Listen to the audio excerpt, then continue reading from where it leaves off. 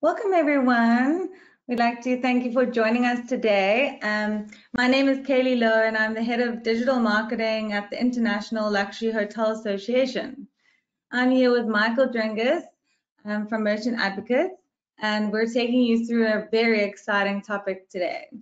So, our mission at the ILHA is to promote growth in the full service hospitality industry for owners, operators of hotels, cruise lines, private residences, and other luxury hospitality organizations. We grow your business by connecting you with our network of experts, thought leaders, and innovators. And I'd like to personally welcome you all to today's webinar. So today is brought to you by Merchant Advocate, and I'd like to introduce you to Michael, who'll talk about their service and how they're assisting hotels right now on saving money through payment processing. If you have questions, we'll answer them in the chat. Um, we'll, we can also answer them through email um, after the webinar, and Michael will get back to you. Um, so yeah, let's get started with today's discussion. Over to you, Michael. Perfect. All right, well, thank you very much for the introduction. So if you can hear me out there, go ahead and clap once. How about twice? Uh, see, I'm wondering how many people actually clapped there because you know I know the audio is muted. But the reason I did that, at least if you're clapping now, you know, at least I got a round of applause. So I guess it really doesn't matter about the content, right? Mission accomplished. No, I'm only kidding.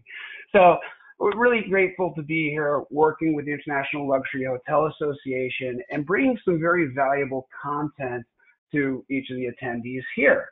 And today we're going to talk about this silent equity partner that businesses have but they don't always know that they have it. And it's regarding that complex world of merchant services. Now, like most any type of business out there, if you're a small business owner or a CFO or a controller, a couple key words that will really create an emotional reaction in a not so favorable way are credit card processing or merchant services. Whenever somebody hears those words, there's this level of frustration and angst and the reason for that is because it's an unregulated industry. And business owners and those that are operating businesses, they're bombarded day after day, week after week, month after month by these sales individuals trying to sell these processing programs where they say, hey, switch to my provider, we'll save you some money. Well, in actuality, because there's no regulation, typically the way the scenario works is an agent will come in, they'll write up some favorable rates on the merchant service agreement. Then the next month, when that merchant statement arrives, you look at the bill, you look at the merchant service statement, and you see, okay, your rates did indeed go down, but your cost went up, and you're right back where you started from. So this creates a situation where businesses they need to accept credit cards because they have to. I mean, face it, we're moving to more of a cashless type society. The impact of coronavirus, I know everybody on this on this call has certainly experienced that adverse impact, and people are really reluctant to hand over, have an exchange of cash. So credit cards and debit card transactions are becoming more and more of an operating reality for any business. So you accept credit cards because you have to, but nobody really wants to because there's these silent equity partners behind the scenes. So we're going to kind of peel back that curtain and explain to you some areas that you really need to be aware of to make sure that you're not being taken advantage of and that you can protect your bottom line. Because in reality, that system that allows you to collect money could be costing more than it should. Because again, it's an unregulated industry. So when we talk about payment processing, credit card processing, the entire ecosystem. It's important to note first off that there's actually two sides to merchant services. There is a regulated side, that's the issuing side called interchange. Now, essentially, what interchange is, it's approximately a thousand rules and regulations established by Visa, MasterCard, American Express, and Discover that outline the hard cost of a credit card transaction. Okay? So that's fixed that's regulated. Then you have the processors, okay, the acquirers or the processors. Those are the entities that actually adjudicate the transfer of funds. They're the ones that pretty much move the money from point A to point B, okay? That side is unregulated. Now, there's something that's very important to be aware of is the fact that even though interchange, that regulated side, is fixed, it's regulated, there's measures of control there. The same transaction can have four different tiers of pricing based upon coding and data flow. Now, those tiers of pricing can vary by as much as 1.5%, which means if something is fundamentally in error on the issuing side, if there's a coding error or if there's a gap in, the, in data flow, your organization could be paying 1.5% or more too much before the transaction ever even reaches the processor. Okay, and we're going to talk about this a little more in further detail during this presentation. But it's important to know that you can't just look at the processor side, those that are charging you the service fees. All those interchange details are very, very important. And your processor, your credit card processor, is never going to look at those details because they're not compensated on interchange. They simply transfer the interchange cost to you and then add their service fees. So you can look at interchange kind of as the buy-in cost. So they, they transfer that buy-in to you and then mark it up accordingly to meet their, their needs. Now, in that entire ecosystem, you see there's several different acquirers or processors listed here.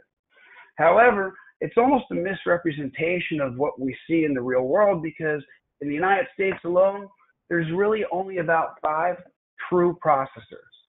All these other companies are resellers or ISOs, and you can see there's an overlap here. We see ISOs and MSPs. What those are is those are independent sales organizations that actually resell the processing offerings. Now, this is important for you to be aware of because a lot of times an organization will say, oh, no, we process with our bank. You know, for example, let's just say TD Bank as an example, okay? Well, the merchant statements may indeed say TD Bank in the top corner, but TD Bank is not the processor. They're actually an independent sales organization reselling for First Data, which is owned by Fiserv. You can have these different hierarchies where whoever you believe or whomever you believe that you process with might not actually be the processor. So there may be two or three other parties upstream that are also taking a piece of every single transaction. So it's important to be aware of that. You do have your issuers, you've got your card networks. Everybody's familiar with Visa, MasterCard that's tied to interchange. So the networks are pretty much the vehicles by which, so they're, they're pretty much the transportation system that funds are trans, transported through. And then the processors you can view as if the card networks are the railways, the processors are the cars, the locomotives, okay? A lot of different players. By the way, you did see gateways there. What a gateway is, is sometimes when you transact, you'll either use an actual terminal, a, a chip reader or a card swiper where the card is physically placed into a device, or you can also type in the information on an electronic terminal or a virtual terminal, which is known as a gateway. It's just another delivery system to pass the information from point A to point B. We'll go into that a little bit further down the road too. When you look at the life cycle of a transaction, it starts with the customer naturally. They go to make a purchase or they put a deposit on a room or they're booking an event, whatever the case may be. Um, the order comes through and the gateway or the credit card terminal will pass that request. The processor links it to the appropriate association, which will then go to the issuer. They'll approve or deny the transaction based upon available funds, and then the customer is billed. We're all pretty familiar with this. It's very similar, you know, regardless of which side you're on, if you're on the purchasing side or the receivable side, it's all the same players. All this happens literally in fractions of seconds typically. Okay? Here's the need to know. The need to know is credit card processing is both regulated, that's that interchange or issuing side, and unregulated. That's the processor side or the acquirer side. Again, that side, they're the ones that actually adjudicate the transfer of funds. Now, it's important to note that margins have been compressed. And when, when, you, when you see this line right here, margins have been compressed, driving processors to hide fees. We're actually going to walk you through a few examples of what to look for on your merchant statements and why it's important to look for them. Because in the past, there was a lot of opportunity for credit card companies and processors to make, to basically charge whatever they really wanted to. And there still is some latitude for that. But as rules and restrictions and regulations came out to defend and protect consumers and business owners alike, processors just got a little more clever in terms of what they're going to disclose versus what they're not going to disclose, creating many different loopholes, which enables them to change the rates pretty much whenever they want. They just push out a little statement message, which is in the super, super fine print when you read your merchant service statement. Typically, it's about five to 12 paragraphs long. All a processor has to do is notify you that there's going to be an increase. Now, most most CFOs, controllers, business owners don't read that information because there's a, a lot of nothing in that in that small print. Um, but as long as they notify you and it's not contested in writing, you're stuck with an increase. So at any time, a processor can say, "Hey, rates are going up," and unless it's contested in writing, you're stuck with it. Now, here's the problem: most times you can't really dispute that increase because if you're still under contract if you have a contractual obligation with a minimum term, well, you're beholden to that contract. And unfortunately, what most people don't realize is when you sign up for merchant services, even though that document is only about five or six pages long, by signing it, there's fine print, typically either in a sentence or paragraph right underneath the signature line, that states that you're agreeing to terms and conditions set forth in something called the program guide. Now, in all of my experience with merchant services, I have never encountered anyone that was proactively given the program guide. Typically, it has you have to ask for it. But it's important to know because the very first paragraph of program guides typically state that by signing the agreement, that three to five page document that the sales agent crossed out certain rates, put more favorable ones, by signing that, you agree to the terms and conditions set forth in the program guide. Collectively, they account for the entire agreement. And in that first paragraph, it states that no strikeouts, uh, strike throughs, crossouts, alterations, or addendums will be honored. Now, what this means is if a sales agent comes in and they have a pre-populated merchant service agreement and they're crossing out the rates that you see and they write lower rates, and if there's a minimum term and they cross out that minimum term and say, okay, um, we're gonna we're gonna have zero term, zero cancellation fee. It really doesn't matter what they wrote, and the, what matters is the fact that you signed it because by signing it, you agree to a whole other set of documents that you have to ask for. And in most occasions, that document clearly states that any of those changes will not be honored. And the processor reserves the right to change rates whenever they do. I know we spent a lot of time on this particular slide that's very important to understand that this is an operating reality. This is one example of one of those loopholes that processors use because they're disclosing the fact that the rates will change or that they might not be consistent with what you agreed to, but they disclose it in such a manner that it's borderline deceptive. Uh, you really have to ask. It's so important to become educated on this so that you're not overpaying. Processors do change rates about four times per year. Uh, interchange goes up twice a year in April and in October. The April increase this year was actually postponed until this month, actually, but another one's going to hit the books in October, and you'll see the impact of it in November. It's important to know that because whenever process, whenever interchange goes up, that is clearly communicated to everybody that accepts credit cards. And since you are notified that your expense is going up, processors typically take advantage of that time to slip in additional fees of their own because when you get your bill and you see your cost went up, you're just going to naturally go, oh yeah, that's right, interchange went up. Where in, in fact, there may be some additional increases. So it's very, very important to look at the details of your merchant statement every month, or at least have somebody that can really scrutinize the details to see when this is happening. Another thing too is, you know, breaches. We hear about these security breaches all the time. Uh, you really can't grab, a, a, you know, a, a dominant newspaper in any marketplace without at least once a month hearing about some sort of security breach. So we're going to talk about PCI compliance, why it's important to you. When you look at that complex world of processing, a lot of people get caught up in rates.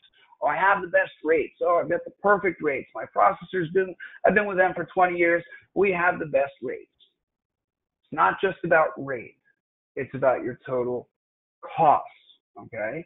So you might have great rates, But if there's a batch fee, an authorization fee, a monthly PCI fee or non-PCI fee, a statement fee, a security fee, an internet access fee, as you can see, there's a lot of different fees that can be imposed at the processor's discretion, which can really drive up that cost. So it's important to understand what a valid charge is and what is just really what a processor feels like charging you because they can. Now, there are different pricing structures. Some of you on this call may indeed have what's called flat rate pricing or tiered pricing, where it states, okay, for X type cards or X transaction types, you'll pay this rate, and for others, you'll pay another rate. that's not always, matter of fact, I've never seen where that's the best program because what they're doing is they're averaging up the interchange costs so that you are actually paying more in the long run. Coding is very important because every single industry out there has its own unique standard industry code. Okay, and we find situations where a sales agent for a processor will go out there and they'll have a pre-populated application for services that is the, the retail box is checked off. Well, if you're a hotel or if you're in hospitality and yet the box is checked off for retail, your transactions are not being coded correctly. You may be paying a higher amount in interchange. In terms of case studies, we've actually had a few clients. We had a media company where, and this is how important coding is without going into the details.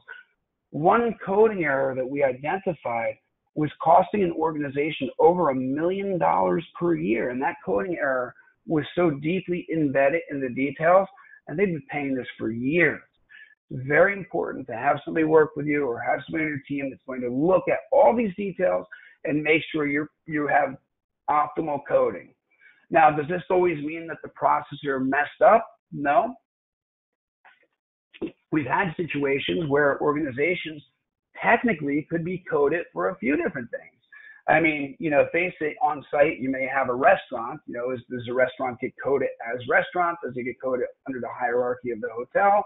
You know, we'd have to look at the details to really see what the best fit is. But a prime example is we had a case study where there was a theater, a performing arts theater, that was coded as a theater. Right? That, that makes sense. They're a theater. However, upon further inspection, they're also nonprofit. They were a 501c3. Well, when we looked further in, we modified their code, their SIC code, to a nonprofit which saved the client about $72,000 per year just in, one, in that one modification. Was the processor wrong by checking theater? No. But was it optimal? No. So there is a degree of, of variability there. That's where discretion is required, and it's helpful to understand the complex world of credit card processing. We talked about rate versus cost. The other thing is, you know, who is your sales agent? Very regularly we hear, oh, you know, my, my brother-in-law or my sister-in-law handles my credit card processing. Okay, well, you may indeed have the best rates on the processing side. What we found, however, though, is most sales agents for credit card processors, they're they're not trying to take advantage of you in most cases. But once terms are agreed to, agreed upon, and you have specific rates in place, all somebody above them has to do is flip a switch and your rates just went up. And that person that is your sales agent, they might not even be aware of this trend. Yeah, we find situations where we talk to a sales agent on behalf of the client and they're scratching their head saying, there's no way this is happening. And that's actually why Merchant Advocate was created, was because we realized there's no measure of control in the merchant service world. And think about it, I mentioned earlier okay, if you're processing through your bank, for example, who's actually a reseller of this super ISO, who is a reseller of an actual processor, well, if somebody up here flips a switch and raises the price, it's going to affect everybody downstream. Are you being told the truth? I mean, does your processor really know what the details are? Uh, or are they trying to, to, to play the, the sleight of hand type, uh, type scenario? We see both. Um, we've had certain circumstances where processors will compress the merchant statements, which means when you get your merchant statement, instead of it breaking down what your card mix was and how many different types of Visa cards or MasterCards that you, would receive, it just lumps everything together and does not disclose the interchange cost. To our team, that's a big red flag. If somebody is not disclosing all the information, well, chances are they're hiding something. We do see this quite regularly. And the processors really don't want you to know everything because an educated consumer, then you can you can then challenge what you're being charged. Uh, if you've noticed when you get your merchant statement every single month, it might as well be in a foreign language. I mean, it is so complex. there's there, there's almost no continuity to it. And the interesting thing is, if I printed up 10 different businesses merchant statements or 10 different properties merchant statements and put them all side by side, the only common theme would be they're all on paper and ink and they're all confusing. But they're all going to be, be confusing in different ways, which is done deliberately because processors know that if they push out the information in a format that you cannot understand, it just becomes the cost of doing business. So it's important to have somebody that understands that language, that has those those special lenses, so to speak, that they can see through and understand what the details are. All merchant accounts are not equal. Again, a lot of this is related to your SIC codes. Oh, sorry, I got a little happy here scrolling through. Um, and the SIC codes are typically programmed upon setup. Again, one code is not one size fits all. It's important to have somebody set up your account or retool your account that truly knows the way that you should be coded. Again, interchange is fixed, but there are ways, even though it's fixed, there's four different tiers of pricing, which are based upon coding and data flow. So it's important to understand the way that that data flows through the system and communicates to ensure you're getting the best possible pricing before it ever even hits the processor. We talked a little bit in the very beginning about gateways versus standalone terminals. Again, the difference is a terminal is an actual machine that you either use the chip reader or you swipe the card in and that transmits the transaction. Yes, you can hand key a transaction into a terminal. You will pay a higher cost on the interchange side if you do that without putting in certain fields of information. So if you're tempted or if your staff is keying in a transaction and you see them just hitting enter, enter, enter, enter, enter, passing through certain prompts, it would be beneficial to have them put in the data that's being requested in those prompts. Could save you as much as a half percent right out of the gates. EMV, when you look at terminals, are they EMV compliant? Uh, recently, in the recent few years, we've all received those cards that have the little chips in there. Well, the chip is a security measure you really want to make sure your devices are EMV compliant. And the reason you want to do that is it protects you in the event of a disputed charge. So if there's a contested charge, but that chip was read, then it shows that that card and individual were on site, right? Whereas if the transaction was hand keyed, well, you can't really prove that, that the card was physically present in that environment. So be sure to use EMV whenever you can. It will protect you in the case that somebody tries to dispute a charge. And when you look at costs on the on the whole terminal versus gateway, it really depends on how you're transacting. Are most of your transactions done with card present, or are they done with card not present? Uh, you may have a mix. So, for example, if you're taking reservations and you're accustomed to putting the transaction into a terminal, again, you're going to be paying a higher interchange fee you may want to consider having a gateway where then you can plug it into the computer system. It will ask for different information, which will ensure you're getting that lowest possible cost. It'll ask for specific security information. But net net, if you have a card not present transaction being delivered through a card not present network, which would be a virtual terminal or gateway, you're protected. If you have a card not present transaction go through a card present environment, meaning you have your hand keying into a terminal, that transaction can be readily disputed. So EMV we did speak about. Uh, again, absolutely, your terminals should be EMV ready. Uh, it is recommended that be on an IP line.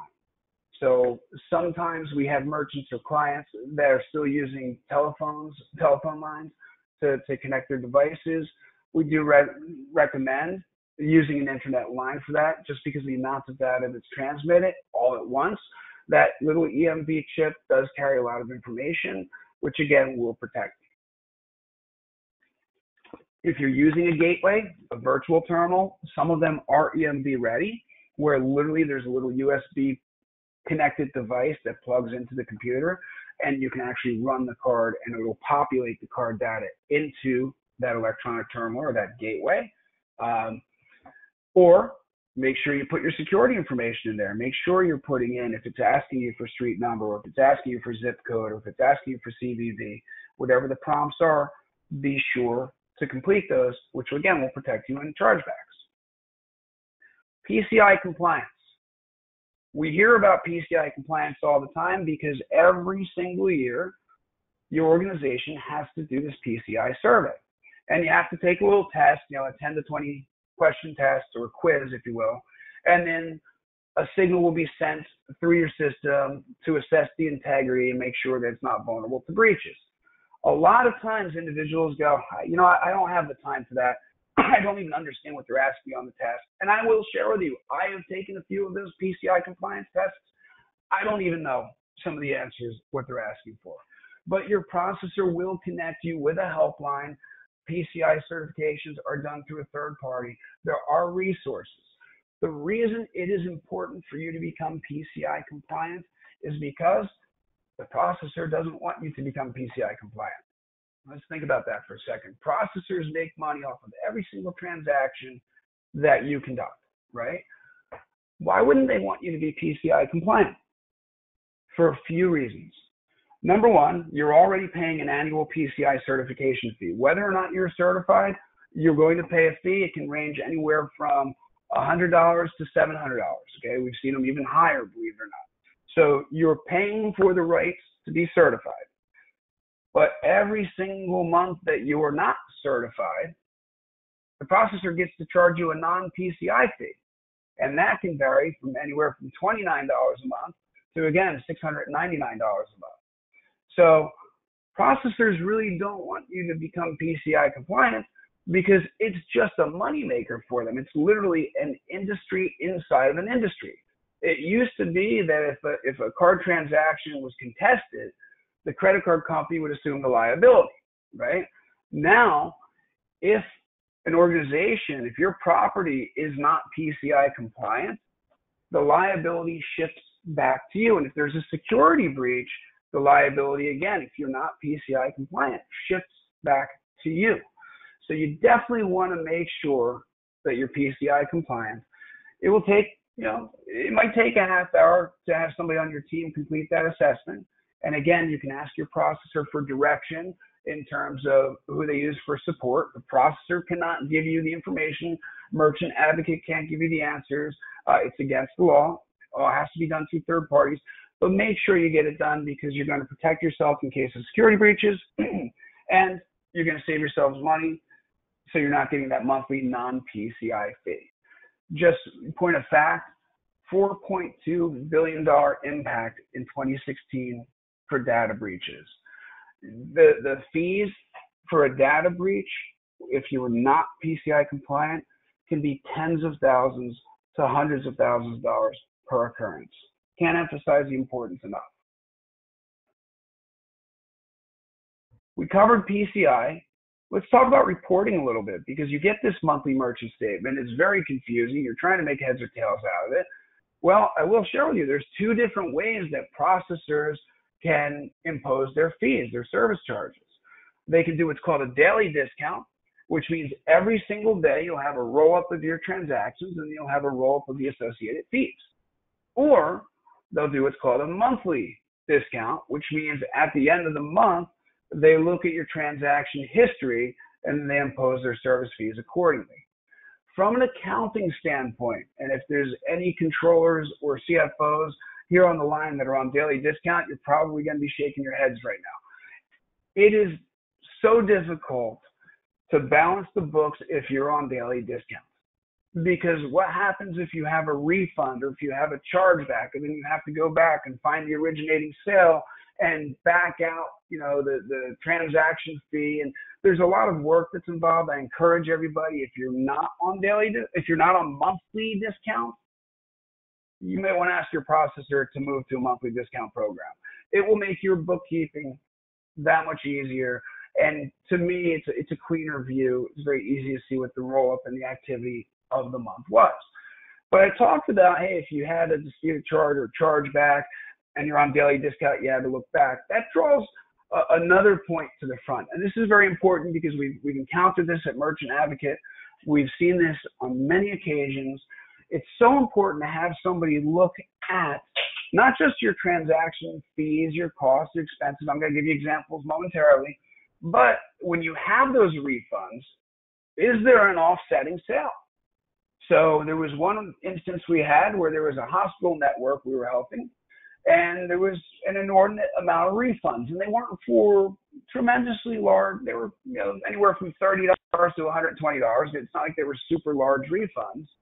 But when we did our due diligence and we're analyzing the account, we couldn't find any offsetting sales for those refunds. Well, evidently, a member of this team at the hospital, one of their employees, had access to their credit card terminals and would occasionally stick their card into the device and put a refund through. They'd process a refund, but there was no offsetting sale. They were literally stealing money from the organization. So it's important when it's bad enough that the merchant service world is complex enough, you do have to, to account for human nature.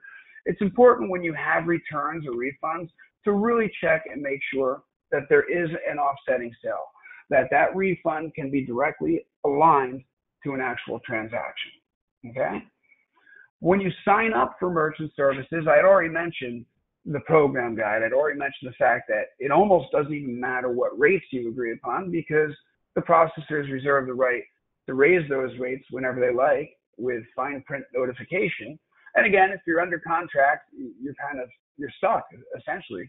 Um, or if you're using software, and we see this a lot, especially with hotel properties, we see it with with the uh, hospitality industry, with medical, with restaurants, and some retailers too, where you might be using a POS system that requires you to use a certain processor. Well, typically there's an integration cost because both the processor and the software are making money off the same transaction, and there can be some additional fees and penalties involved there if you're if you're unaware, if you're not really inspecting the details. Again, it's so important to have somebody really look at the details of your merchant services. But when you look at your contract, when you sign up, oftentimes you might sign up for a three-year period, but then there's an auto auto renewal for another three years. Now, this is very important because some processors or processing entities, instead of the flat rate cancellation fee, they charge what's called liquidated damages, which means if you're going to cancel, they're going to hit you with a bill that is equal to whatever they would have made during the duration of that merchant service agreement.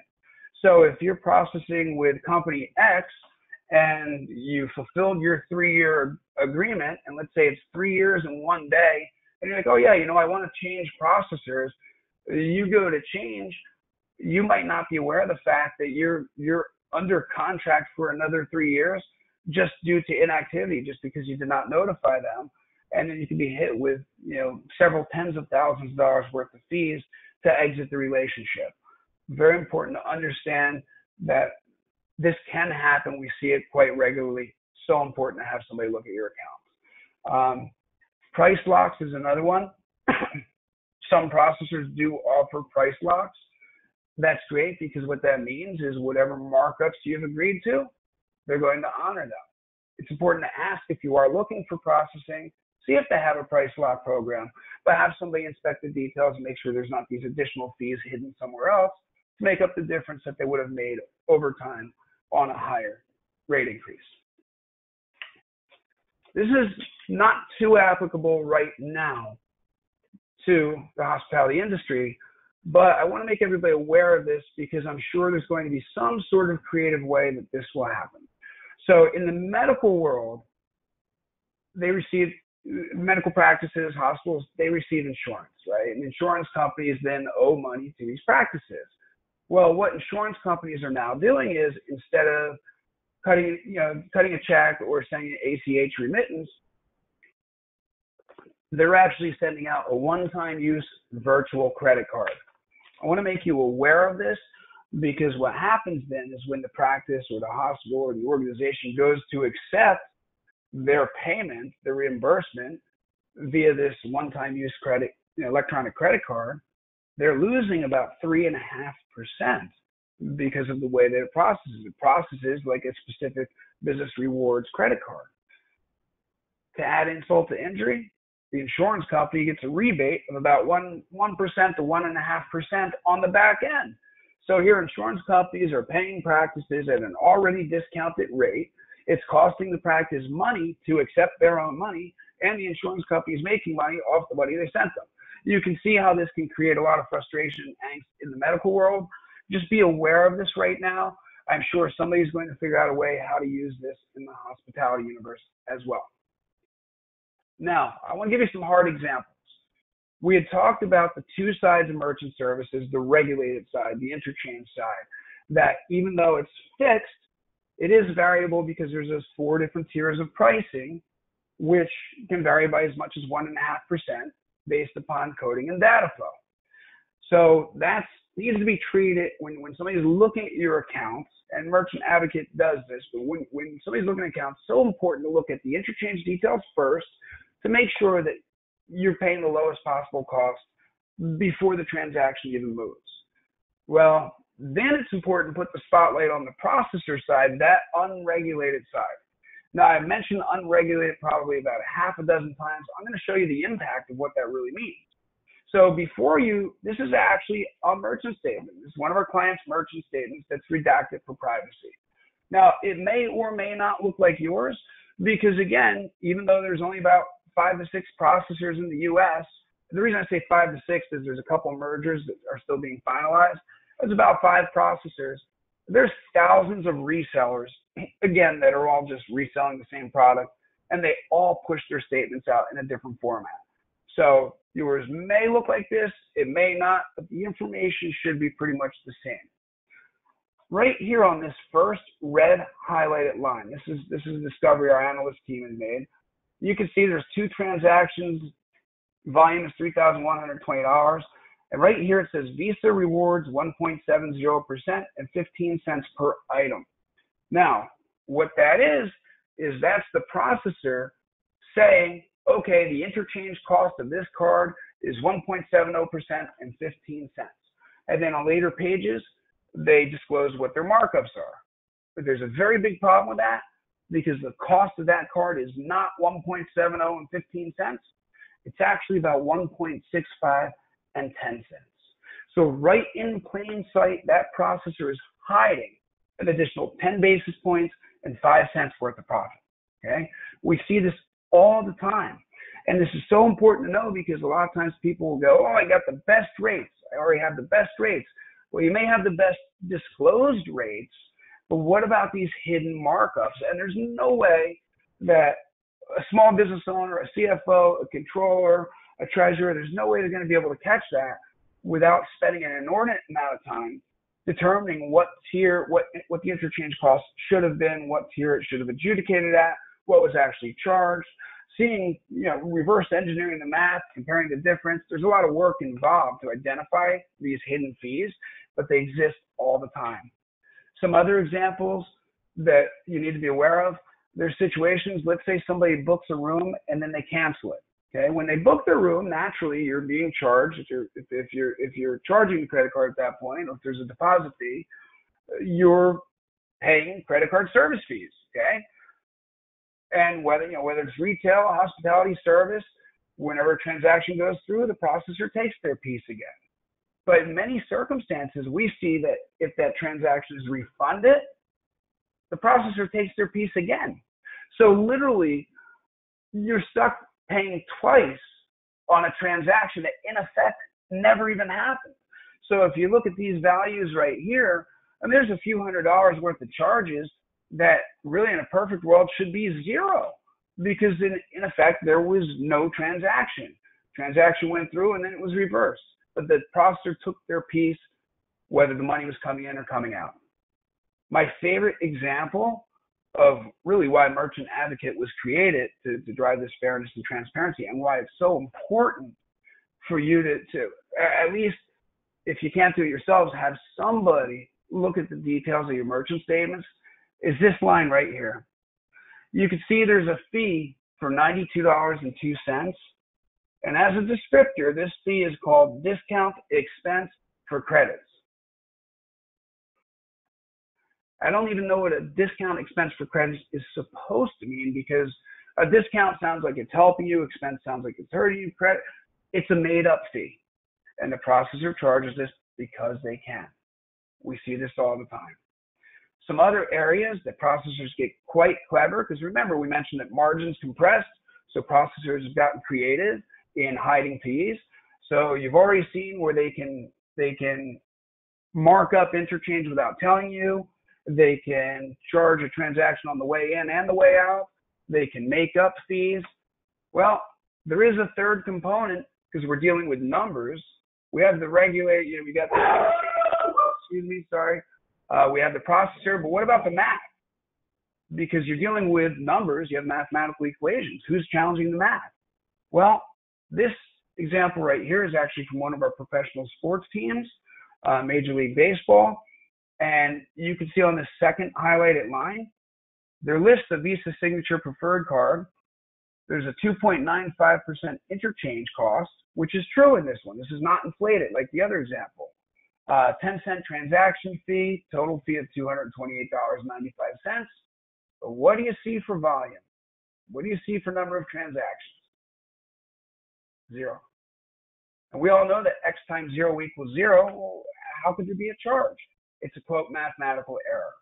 And if you actually, for those of you that are detail oriented, if you actually calculate and run the math on this one, it's not $145 and change. It's actually about $91 and change that, that should be. So right there in just two lines of data. And this particular sports team's merchant statements are about this thick, uh, and they save hundreds of thousands per year. But just those two lines, you're looking at thousands of dollars per year in overage and spend. So it's very, very important to be aware that these type events occur all the time. Just another quick example. There was a situation where we had optimized a client's account, Merchant Advocate optimized a client's account, where their interchange rate for a specific transaction type was lowered from 2.70% to 1.80%. When we validated that that change was indeed had gone into effect, yes, it's listed there. Okay, guys, we corrected it.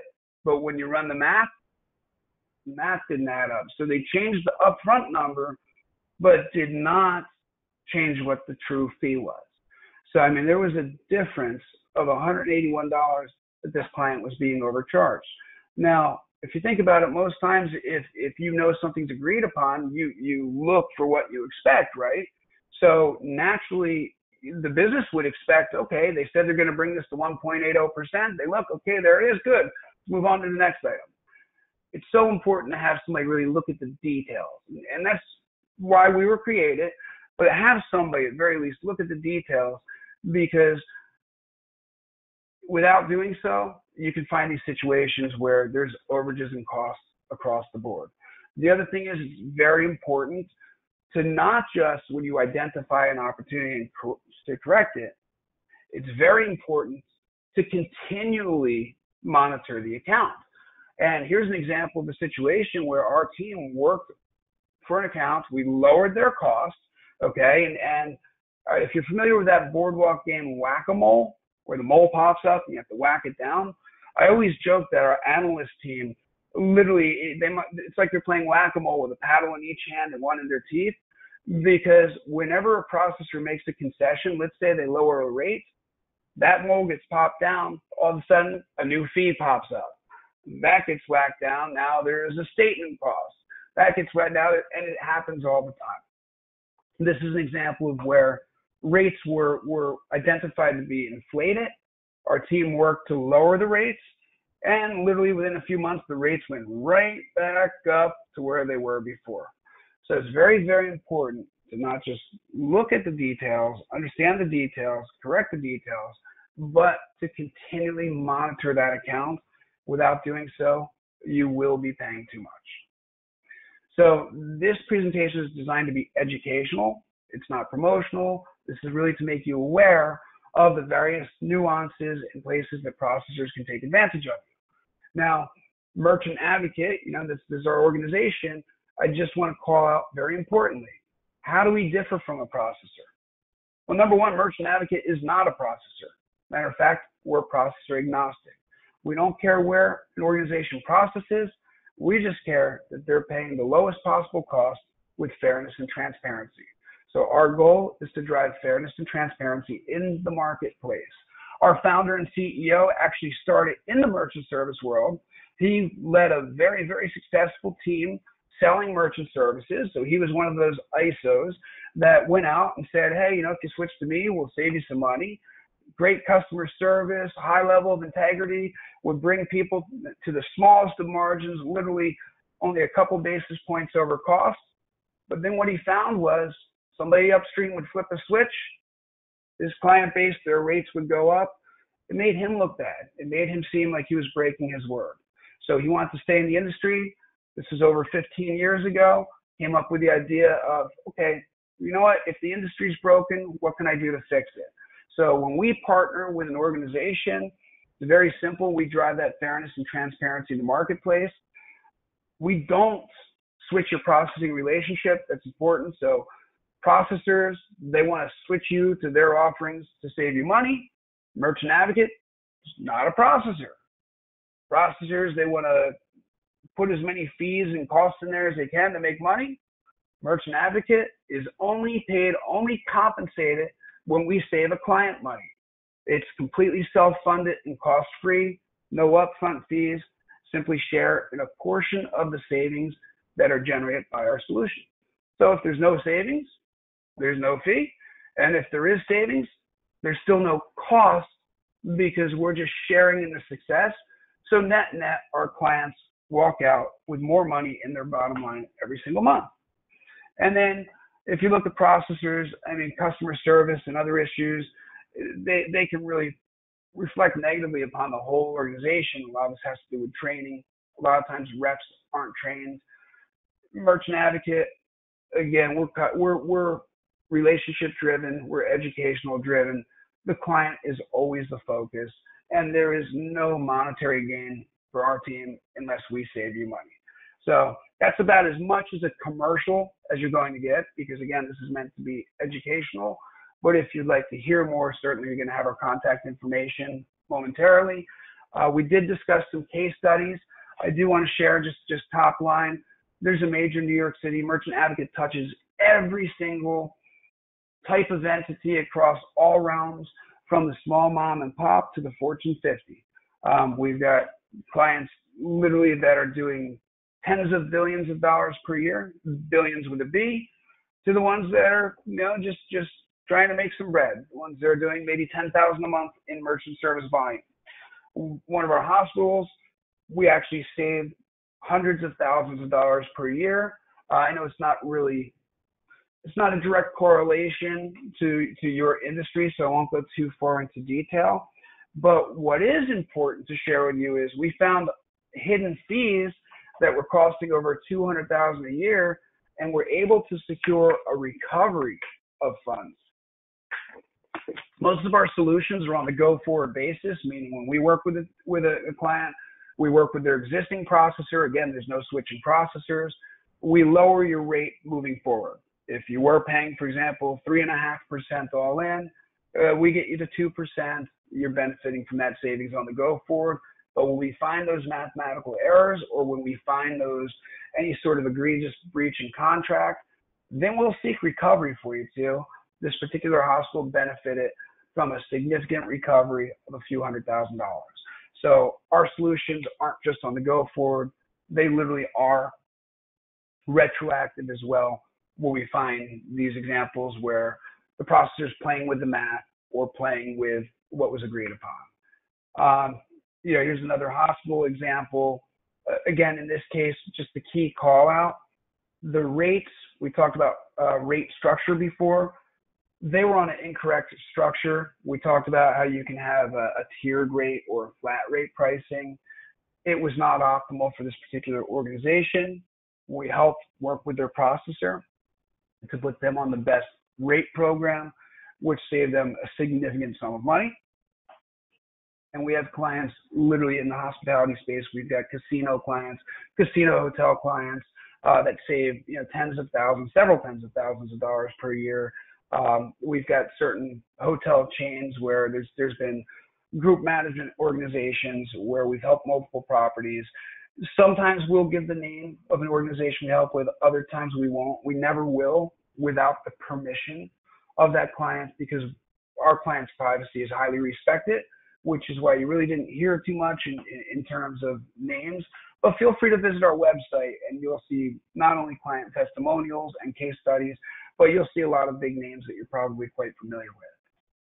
The most important takeaway for you is have your merchant services audited. Whether you do it yourself, whether you reach out to merchant advocate, make sure somebody is looking at the details. Not only audit it, but monitor it because just because you've had corrective measures and concessions were made, we all know that those rates are going to go right back up. Rates go up three to four times per year. So you can guarantee that if an issue is identified and corrected, another issue is going to arise, whether it's a mathematical error or a coding issue or a new fee or just a plain old increase. Make sure you're PCI compliant because again, if you're not PCI compliant, you're putting yourself at risk um, for steep penalties via if there's any breaches and you're paying too much in these non-compliant fees and protect yourself from breaches. If your processor has a program where they have breach protection, it's worth looking into. Some of our partners that I can share with you, Florida Institute of CPAs, they're a client and we're a member benefit provider for them. So if you think about that, we have accounting NJCPA on there as well. If accounting associations were so pleased with our service and they're willing to bring it to all the accountants and they're willing to bring it to all their clients, there must be something quite viable there. Um, in dentistry, we have the Office Managers Association, Optometric, more dentist veterinary, ADP. There's there's several, and there's there's too much to fit on this page. But the purpose of that page is really to share with you we're experts in this industry, but we're not part of the industry. We're part of the solution. Everybody has the problem. We all share the same problem when accepting credit cards. You're losing money every transaction. There's no fairness and transparency. How do you stop those revenue leaks? How do you put that money back into your bottom line? That's why we're here to help. That's what we do. So thank you for your time. I'm going to open it up to questions. I appreciate everybody's uh, participation and patience. But I'm looking through the chat box. I don't necessarily see any questions. Um, Kaylee, if you see anything on your end, can you let me know? Nice, Michael. Thank you so much for such an informative um, and educational webinar. That was really, really, really helpful. I think a lot of people have submitted a couple of questions. Um, one, for example, here is said, um, what can a typical hotel expect to save? Obviously, you covered a lot of this in your um, case studies, and I think it's nice to know, I guess, in that context. So it, it, it's interesting because a lot of times we hear, hey, what, what can I expect to save? It's difficult to give a numeric value because hotels have different volumes. They have, you know, there's a different card mix. What I can share is we typically save our clients between 30 and 40 percent of their cost of accepting credit cards. So we do have some hotels. I, I know there's a couple Best Westerns that we work with. That you know, it's a smaller. It's not what I would call a luxury hotel, but they're, they're certainly fine properties. Um, where in those cases, you know, it may be several hundred to a few thousand dollars per month um, for a few properties. And then we have some more of that luxury base casino hotel type entities that are saving anywhere from $3,000 all the way up to $10,000 per month. Uh, it really depends on the size and scope of the organization, but typically we save our clients between 30 and 40% of their cost of accepting credit cards. Excellent. I mean, who wouldn't want to contact you after the webinar? Um, I'm going to ask you just one last question, and then everyone else that submitted a couple of questions will obviously get back to you over email. There'll also be, um, you know, the recording sent out with Michael's email address. You can ask him directly. Um, but the last one, um, how often do you provide reviews? Great question. So when we engage with a client, we go to work immediately. We immediately begin implementing solutions to lower the cost of accepting credit cards, and we educate our client as well. So we do all the work. That's important to emphasize. We do all the work. We're going to educate you and your team in terms of what we identified and the solutions that we're providing. And then every single month, you'll receive a, a detailed analysis report, which will show you not just the savings that we generated, but where that savings came from. So literally our team every month will, will download the merchant statements. Most of our clients wind up giving us online access. So we can do literally all the work. We'll download the statements. We'll do the review, go line by line, identify and correct any issues, and then send the statements and the analysis report back to the client. The way the program works is the client literally gets 100% of the savings up front. It's proven and validated by that monthly savings analysis and then and only then do we remit back for our portion.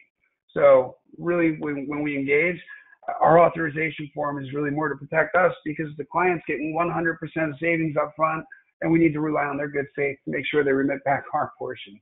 But uh, but yeah, monthly monthly analysis are completed. Excellent, and I guess it's something that you know you want to keep doing regularly so that you don't get those fees going up again. So I think to everyone that's joined us today. Um, thanks, Michael, for giving us such an informative session. Um, we really appreciate your time, and I think a lot of people can benefit from your service. Um, be sure to share this webinar with any colleagues um, that might benefit. Um, and we'd also like to encourage you to get involved with the ILHA and share your expertise. You can network with us and grow your business, um, you know, meet people just like Michael, um, if your business actually would benefit from his services, um, we'd like to invite you to join us as a member, as well as to our upcoming conference, where we're going to be giving some awesome networking opportunities to attendees. We've got free virtual passes available for those that um, want to attend and invite colleagues. You can find it all at inspire20.com. You can also go to our website on the ilha.com and find a copy of the webinar under events. Um, and if you become a member during the next two months, you can also attend the conference and have a virtual um, VIP pass for free along with your ILHA membership. So join us at the ilha.com and we hope to see you again soon. Thanks for joining our webinar today and thanks, Michael. We really appreciate your time. Thank you very much. Looking forward to helping everybody. Uh, listen, we do a complimentary analysis all we need is a few months worth of merchant statements and we can let you know if you qualify for services. Our goal is to help and to protect your bottom line. Thank you very much. Thanks.